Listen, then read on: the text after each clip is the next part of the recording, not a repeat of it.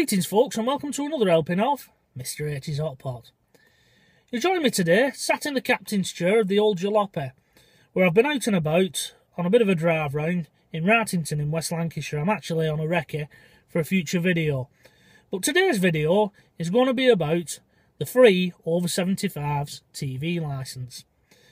Now, as a lot of you out there are aware, the BBC recently announced that they will be scrapping this type of TV licence for pensioners that they deem um, basically don't need one, you know, that they can afford £154, 50 pence a year. And as it increases, so will their TV licence. So, unless you're on pension credit, as of June 2020, you'll be expected to stump up the annual fee. Now, lots of you out there have left comments on some of my older TV licensing videos asking about my thoughts about this change and how do I think the BBC uh, will implement this change. Well, although I'm late to the party, Hot Potters, on this particular subject, you know, with being away on holiday and then playing catch up at work, I have brought a decent bottle with me because I have in my possession a copy of a letter that's currently being sent out to all households where there is a free over 75s TV licence in place. Now, this letter is a general information letter, and it's one that my, my own father received. He's currently got one of these free TV licenses, and they sent him this letter last week.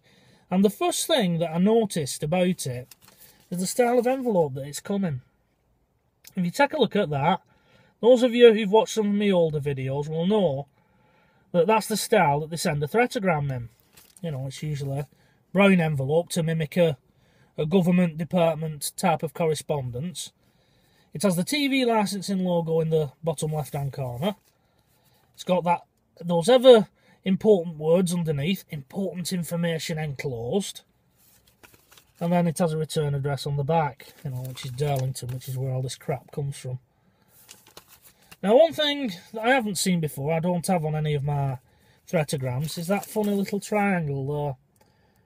Apparently, those of you out there who have the older style of threatograms, you know, dating back from, say, the GPO days and just shortly after, when uh, Capita took over, you get those funny little triangles on the, the corner. Why those have made a reappearance, who knows.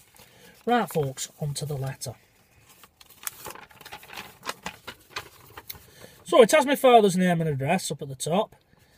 In the opposite corner, we have the TV licensing logo.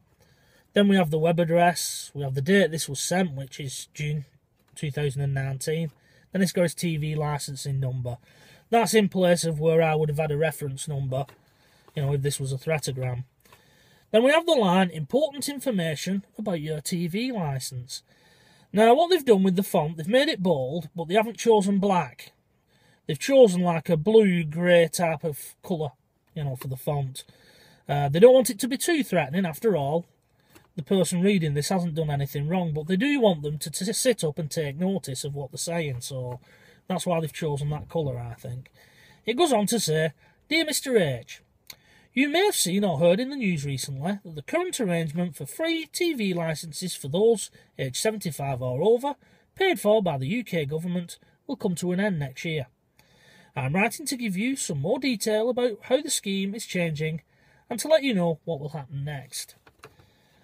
Then in the next paragraph, it starts with how the scheme will change. That's in bold and in black, so it's important, you know, that the uh, the reader, you know, takes notice at this point.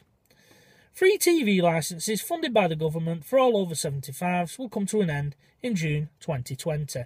June 2020 is in black and it's in bold. Why they've repeated information that they've already given you in the opening paragraph is anyone's guess. But the letter continues the BBC is given the responsibility to decide what scheme, if any, should replace the concession, taking into account the money would have to come from the BBC's budget that goes to fund programmes and services for everyone. So there's a little bit of a guilt trip at this juncture, Hot Potters. You know, if you if you claim a TV licence from the BBC as free, you know, that means that they're going to have to rob programs and services for everyone, so the quality will deteriorate. They're trying to give them a bit of a guilt trip, which isn't on, is it? letter continues. The BBC has announced that from June 2020, households where there is anyone aged 75 or over who receives pension credit will still be entitled to receive a free TV licence paid for by the BBC. Households where there is no one aged 75 or over that receives pension credit will need to pay for their TV licence. The BBC is introducing this new scheme to help the poorest older pensioners who will continue to get a free licence. It also means that all licence fee payers can continue to receive the best programmes and services that the BBC can provide.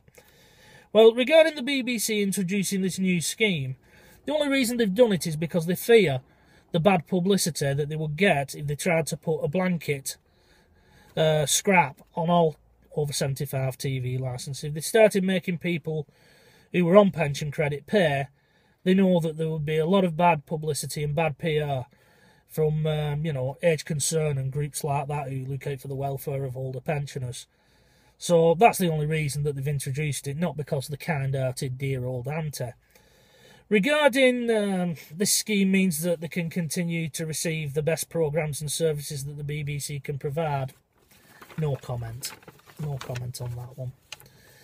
So when we turn over, it states, there's nothing you need to do now. That's in bold and in black to inform you that uh, you know you don't need to worry. You know, don't panic, Captain Mainwaring, and all that kind of good stuff. Nothing is changing until next year. You will be covered until the 31st of May 2020 when your current licence expires. We will send you another free over 75 licence to cover you until then. You don't need to contact us. That's in bold and in black. So obviously they've had a lot of pensioners contacting them since they made this announcement, as they feel the need to put it in a letter like that. Um, if you if you receive pension credit, please make sure you keep your latest pension credit letter safe, as we may ask you to send us a copy later when it's time to claim your free TV licence, but you don't need to send us anything just yet. Now, I'll return to that in a, a moment because my father did have a few concerns about that particular paragraph, and I'm sure it'll be shared by many pensioners out there. When you need to do something, we'll get back in touch. That's in bold, it's in black, and I'm sure that the BBC the bloodsuckers that they are, uh, will be back in touch once the licence expires and they want the money from them. We will be writing to you again in good time before the 31st of May 2020 to let you know what you need to do. Then once again, in bold, in black, you don't need to take any action in the meantime. So once again, that tells me the feel the fact that they felt the need to repeat the fact you don't need to do anything at this moment in time, that they've had a lot of worried pensioners contacting them. That's probably why they've created this letter and sent it out. Where to go for more information? That's in bold and it's in black. You can keep up to date with the latest information by visiting tvl.co.uk slash age or by listening to recorded messages on and then there's a telephone number. And to find out more about why the BBC is making this change, please visit bbc.co.uk slash age. Spoiler alert, the reason that they've made this change is that the BBC have been forced off the government's teat because they've been the ones paying for these TV licences.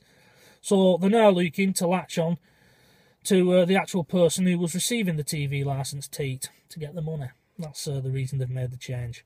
The letter closes, yours sincerely, a. Roberts, Alison Roberts, Customer Service Director, TV Licensing. And that's the letter that they're sending out to everybody, as I say, who's currently in receipt of a free over TV 75's TV license. Now, regarding the paragraph about needing to send copies of letters into them, this is the bit that concerns my father the most. He's not very happy that he needs to make a copy of a letter that's private correspondence to him about his financial status and send it in to a private company, i.e. Crapita. Especially when Crapita don't have a very good track record at dealing with public databases, and they don't. You know, you can go online and look up how they've made cock up after cock up and made a dog's dinner of near enough anything that they've touched. How they're still in business, who knows? You know, I won't go into that one in this video, but um, he's very concerned that he will need to make a copy at a future date and send it in. So I'm sure there's many pensioners out there who'll also share that concern. Speaking personally, if I was my father, I wouldn't claim one. I just wouldn't bother because, um, you know, the BBC have no right to demand you send them your financial details. You know, I know they'll say, well, that's the only way that we can verify, but I'm sure they could put something in place with the DWP where they can contact the DWP, say, is Mr. Such and Such a body in receipt of pension credit, and they can say yay or nay, and then they can take it from there. I don't feel that there's a need for people to have to be sending their personal information into the BBC.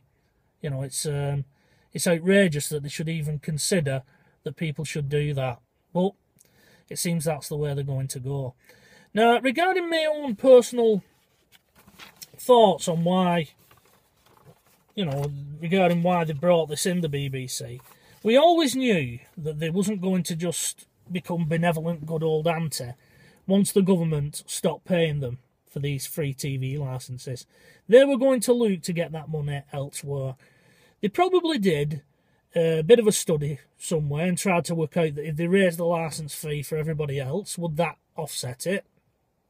Not really a good idea, seeing as TV licensing sales dwindle year on year. Yes, they do, BBC. Please accept that. As millions more cancel. Uh, you know, they've admitted that. They've had so many cancellations, so that's not a good idea.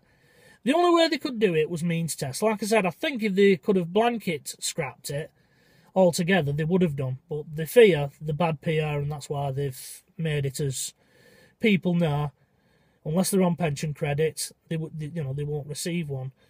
So they're just putting stumbling blocks, I think, in people's way like that. You need to make a copy of your letter and send it in to us, and jump through this hoop and jump through that hoop. It's typical of the BBC. They're hoping that those pensioners will say, "Well, I'm not doing that," and they'll pay for the license anyway. That's how it looks to me.